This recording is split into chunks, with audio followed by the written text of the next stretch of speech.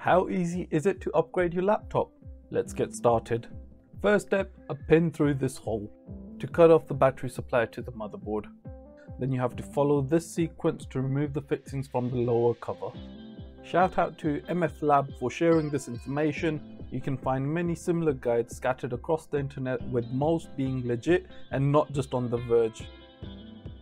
1, 2, 3, 4, 5. Once I caught a fish alive. 6, 7, 8, 9, 10. I'm a dad and here I go again. Stop it. Get some help. Once you remove all the fixings and come to the realization there's no turning back, use a prying tool, try and disengage the clips. Be patient and don't be a fool. This is what happens to fools. Nevertheless, wipe that tear away from your eye and carry on. This is the most fiddly part of the whole process, but just be patient and you'll get through it fine.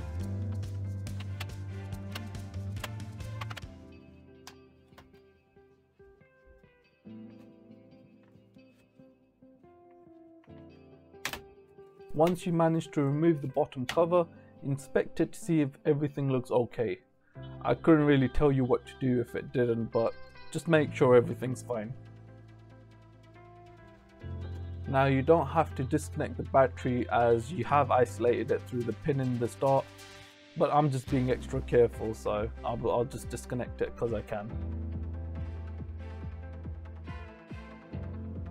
You can now access the two SSD slots and the two RAM slots depending on what you want to upgrade. You can upgrade both at the same time if you wanted to. Make sure you buy the right components, this is critical. They need to be compatible with your laptop. Remove the single fixing which will later help hold the SSD in place.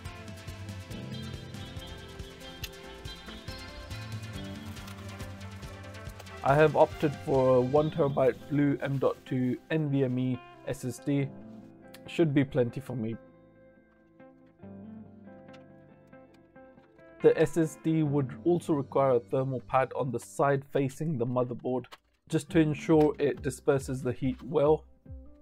For this setup you need around a 3mm thick pad these things are just so worth getting right and it's worth spending the extra pennies.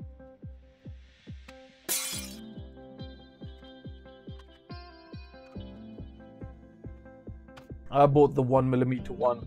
I'm too ashamed to share how it turned out, so moving on. Place the SSD in the slot, listen out for that beautiful sound.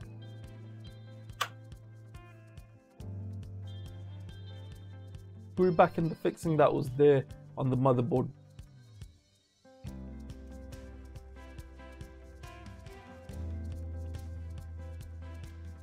reassemble the bottom cover. Again, be extra careful and gentle with this. It is really satisfying when the clips clip.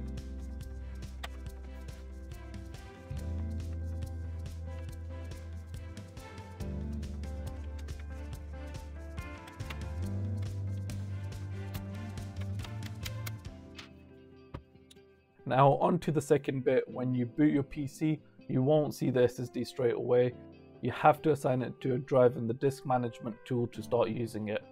You can use the search tool to find disk management and the tool should show up. Right click, new simple volume and follow the simple steps.